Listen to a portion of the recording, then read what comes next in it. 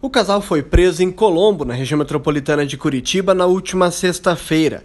Os policiais chegaram até a dupla a partir de denúncias anônimas.